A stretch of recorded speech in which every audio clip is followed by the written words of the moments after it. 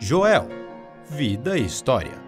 Em 1936, na pacata cidade de Quaraí, nascia Joel Romagueira Coimbra Saldanha, um homem nada pacato. Ainda adolescente, construiu rádios galenas, projetores, e as invencionices estavam só começando. Fã de histórias em quadrinhos, o pequeno Joel também desenhava suas próprias HQs com tinta nanquim.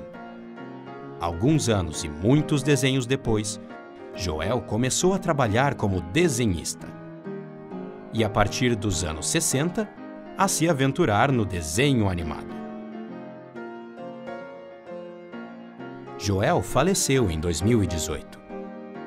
Mas seu legado, suas obras seguem vivas.